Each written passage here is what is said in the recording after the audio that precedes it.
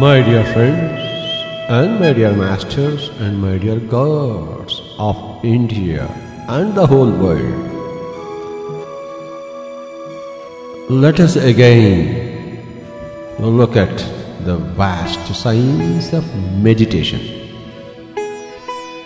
the great science of meditation. Who were the exponents of the science of meditation in the history of the earth? Lakhs and lakhs of masters. Jesus Christ was a great scientist of meditation. Gautama Buddha, Lord Krishna, Vedavyasa, Mahavira. We know only a few names. Names do not matter. Hundreds and thousands have been scientists of meditation. All spirituality is born out of meditation. All fundamental truths of the creation have been seen, witnessed, experienced in meditation by the yogis, by the yogeshwaras of meditation. Who is a yogi? This word yoga, which is current, has been limited to some body postures. Yoga does not mean anything, does not concern at all with body postures.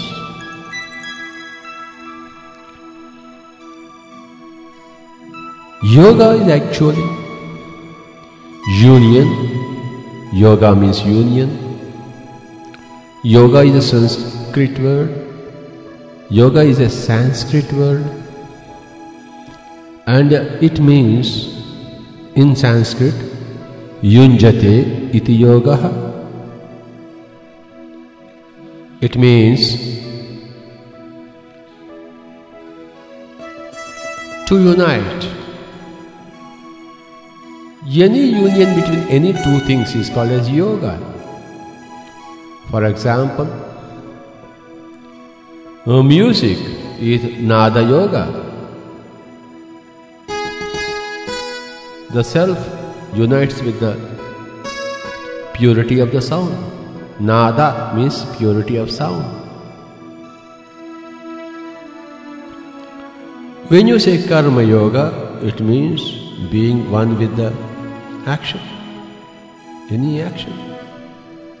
You are driving a vehicle, all your concentration is on the driving of the vehicle, you are one with the action of driving, that is union there. Gnana Yoga means when you are one with, when you are reading a book, studying a book, when you are one with the contents thereof. Your mind is attuned to the contents thereof. Your mind and the contents have become one. That is Jnana Yoga. So, when you are with your own self, that is Dhyana Yoga, Raja Yoga, or simply meditation.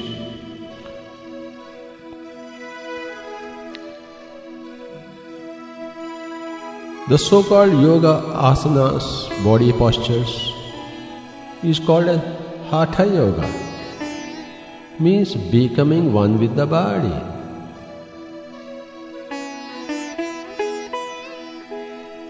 Various body exercises or asanas.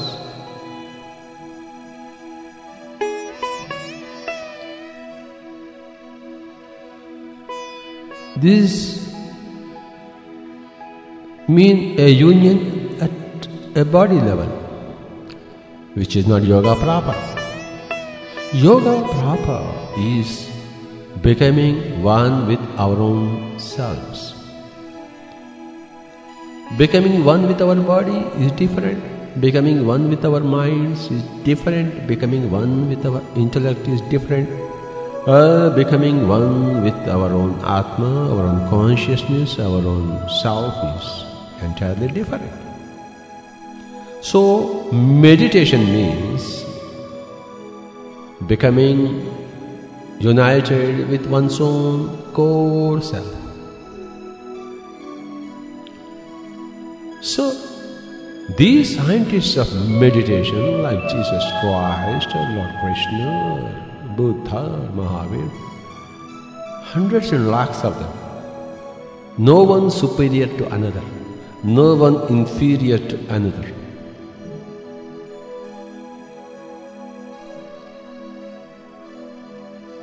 So, the science is the same. It's like driving a vehicle. The science of driving a vehicle is same. You have a clutch, you have gears, you have got brakes, you have got steering system. The science is the same. The drivers are many, expert drivers are many. The science of meditation is the same. The science of music is the same.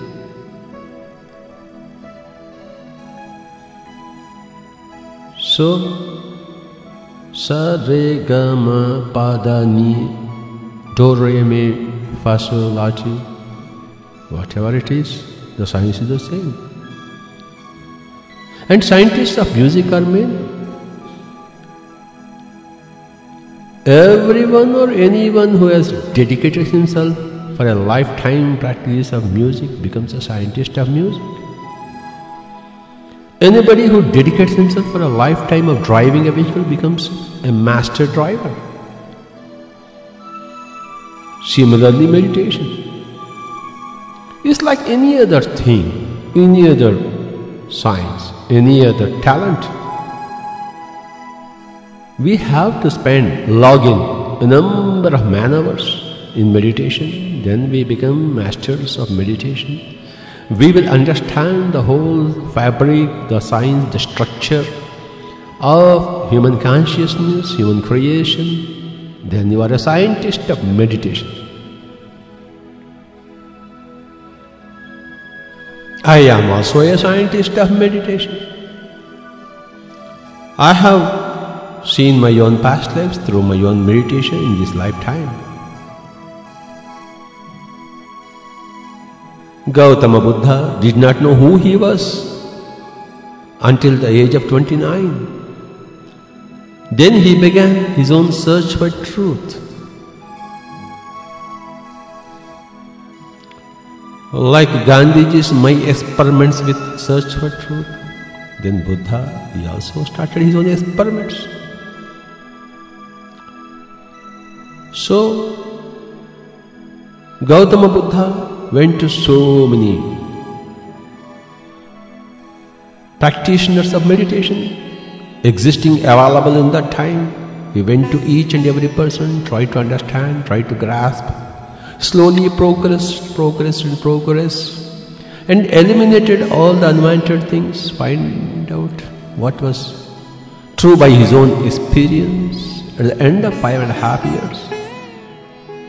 As he was reaching his own 35th year, finally he achieved enlightenment. He understood by a process of trial and error, a process of experimentation and elimination, finally distilled, found out that you have to just be with your natural, normal, easy, soft breathing. You must not do any breathing exercises like Puraka, Kumbhaka, Rechaka, 1 is to 4 is to 2, no. 2 is to 6 is to 3, no. You know what is Puraka? It is inhalation. Kumbhaka means retention in the nose and then finally Rechaka, exhalation. So he found out by his own experience that Kumbhaka should never be indulged in. Only the normal Puraka and the normal Rechaka. He also found out that one should not chant any mantra. He chanted hundreds. He chanted hundreds and thousands of mantras given by this Guru and given by that Guru. Sincerely. He is, he dedicated his, low, his whole life for experimentation. 24 hours experimentation. Finally, he found out that the mouth has to be shut.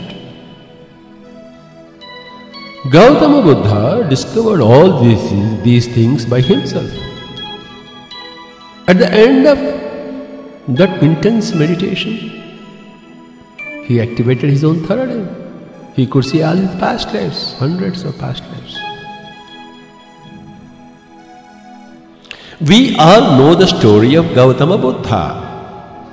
Right from our childhood, we have been seeing his name in our books, textbooks.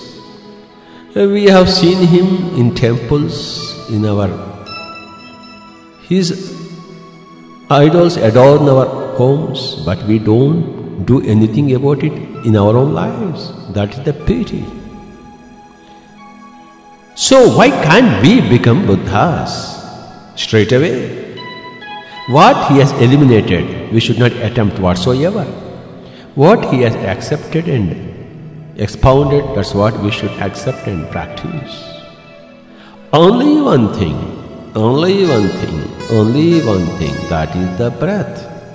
And in the breath too, no unnatural, artificial practices natural, normal, easy, soft breathing and witnessing the breathing. So, Gautama Buddha, just as Newton discovered the law of gravity, Gautama Buddha discovered Anapanasati. Just as Columbus discovered the land of America, crossing the huge ocean, Atlantic Ocean. Gautama Buddha crossed the huge land of ignorance and reached the land of enlightenment. Discovered the land of mighty land of enlightenment. Columbus, the mighty Columbus, the great Columbus, discovered the land of America, crossing the huge ocean of Atlantic Ocean. What a big ocean, Atlantic Ocean. Right from the Spanish coast, we traveled, reached the land of Americas. We will take another example the mighty Edmund Hillary and Tenzing Norgay climbed the highest of the Himalayan peaks, the Mount Everest. Similarly, Gautama Buddha climbed the highest peaks of enlightenment through the highest practice of meditation, became number one in the history of the earth. There are any number of persons after Hillary or Tenzing Norgay. So many hundreds and thousands of people have climbed the Everest. But the difficulties of Edmund Hillary and Tenzing Norgay, because of the development of technology, now it is that much more easier to climb land of Everest. After Gautama Buddha, it has become very, very easy for all of us to clean, sweep all the difficulties in front of us and climb the peaks of meditation and enlightenment. We have his footprints.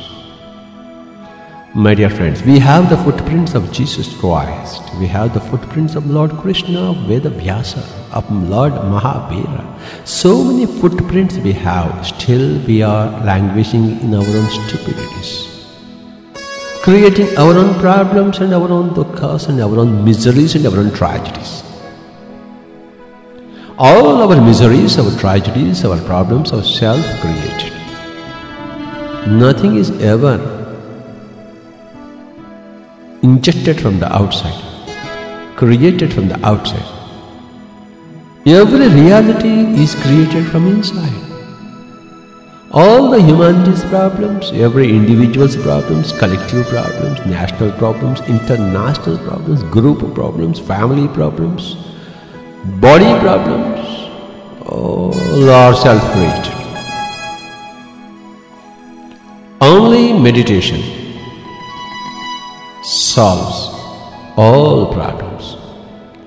All problems have arisen because of lack of the science of meditation. Lack of understanding of the spiritual science, spiritual facts of existence. My dear friends, my dear masters, and my dear gods of India and the whole world.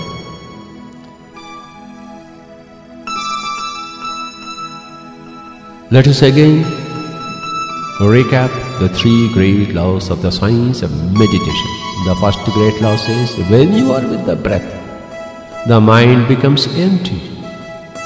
Remember, we should never chant any mantra. No sound should issue forth from our mouths.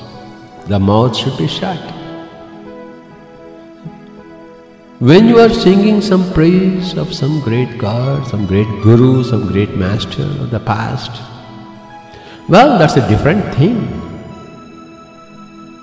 Many times we need to do that. We need to, we are emotional. We want to identify with my great Master. That's very nice. To sing praises of Lord Jesus Christ or Lord Buddha, Lord Krishna is very wonderful. It is soothing. But it is not the science of meditation. It is the science of soothing one's own self emotionally, which is entirely different thing.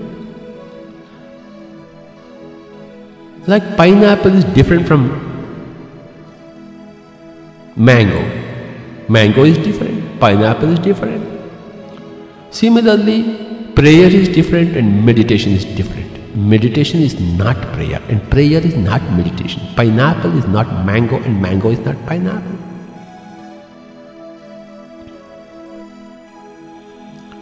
India is not America, and America is not India. India is India, and America is America. Prayer is prayer, and meditation is meditation. Where is India? To live, to go to America, you must leave India. You can't stay in India and go to America land your foot on America. It is not possible. You can't stay in America and visit India. Not possible. You got to leave the shores of America to be in India. You have to leave the shores of prayer to live, uh, to enter the shores of meditation.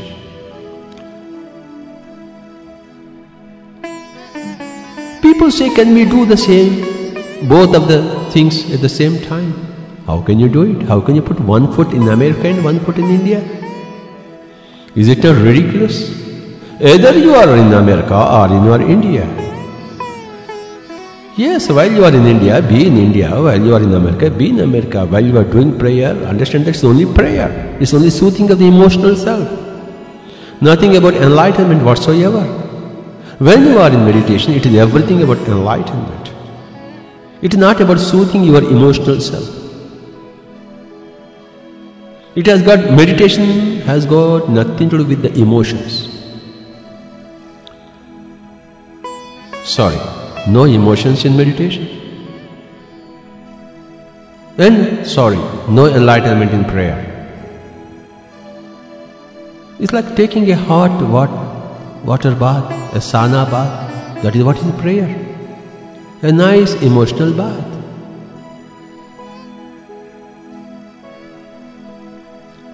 We sing a prayer. Raghupati Raghavaraj Ram Patita Pavana Sitaram. Yeah, that's a prayer. We remember Ram and Sita.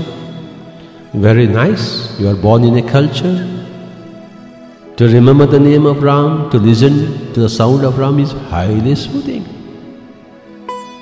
In fact, for Hindus, no other word is as soothing as the Ram. But by chanting the name of Ram, you will not get enlightenment.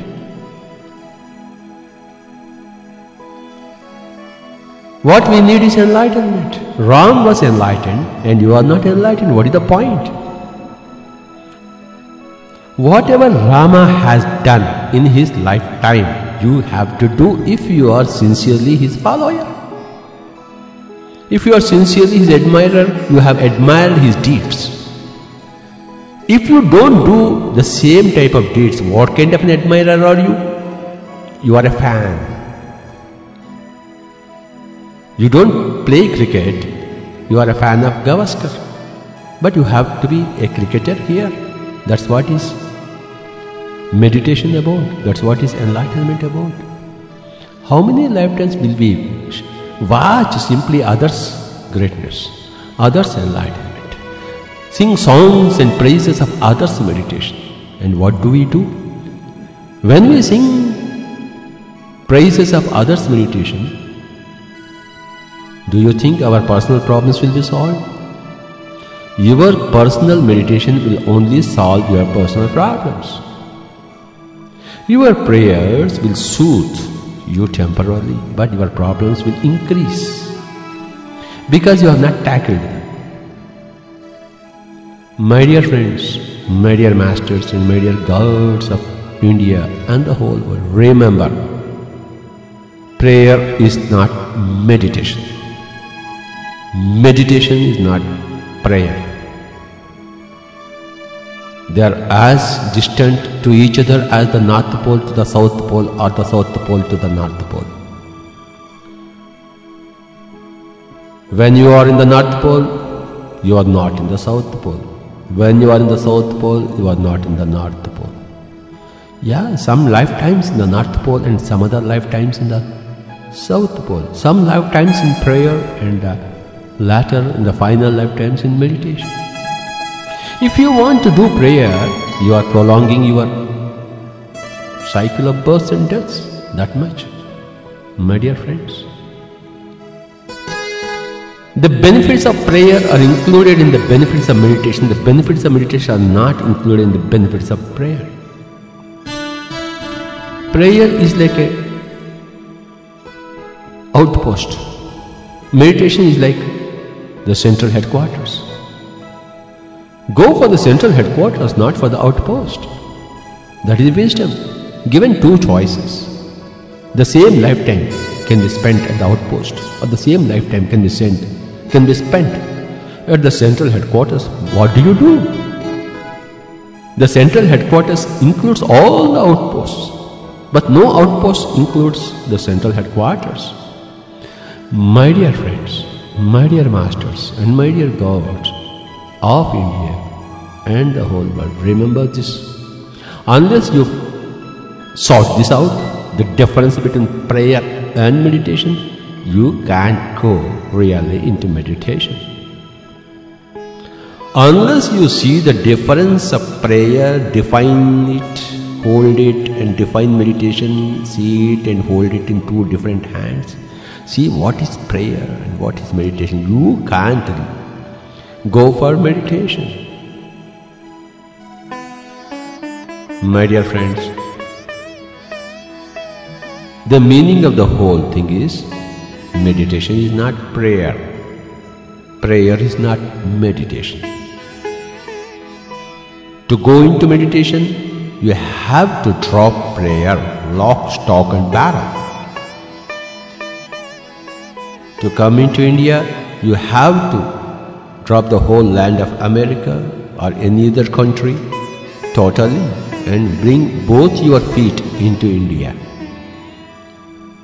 You can't have one foot in Europe or Arab or Africa or Australia and have one other foot in India. So, let us go ahead towards the vastness of the science of meditation. It is not vast, it is very simple. It is very simple, straightforward. Be with the breath. Be with the breath. Be with the breath. No mantras whatsoever. No mantras whatsoever. No sounds whatsoever. Keep the mouth shut. Keep the mouth shut. Keep the eyes shut. Keep the eyes shut.